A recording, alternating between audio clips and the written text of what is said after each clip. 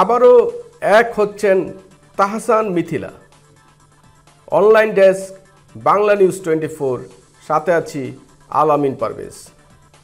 সুবি জঙ্গনে তাহসান মিথিলা ছিলেন সবচেয়ে আলোচিত জুটি। তাদের দাম্পত্য জীবন ছিল সকলের নিকট আলোচনার অন্যতম বিষয়। কিন্তু সেই আলোচনা যে হুট করে থেমে যাবে, কে জানত?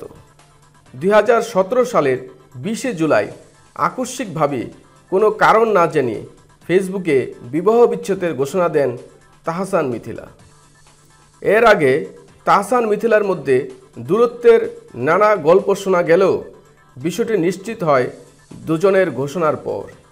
সেদিন জানা যায়, দুই হাজার পনেরো সাল থেকেই আলাদা বসবাস করছেন তারা।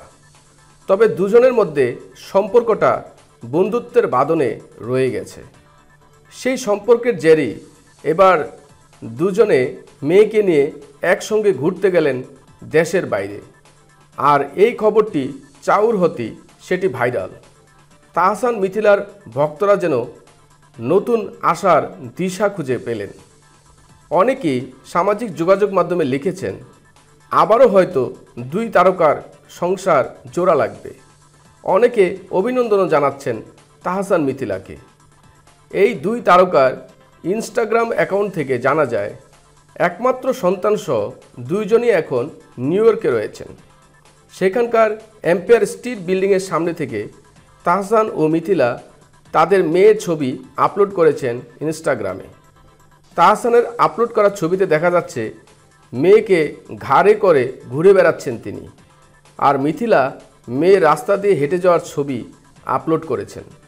দুই ছবিতেই আইরা তাহারিম খানকে একই পোশাকে দেখা গেছে।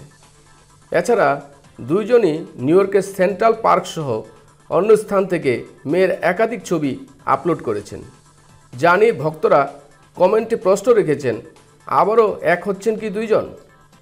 দীর্ঘদিন প্রেম করে দুই হাজার ছয় সালের তেসরা আগস্ট বিয়ে করেন তাহসান মিথিলা। দুই হাজার তেরো সালের তিরিশে এপ্রিল তাদের গড়ে এক কন্যা সন্তান আসে।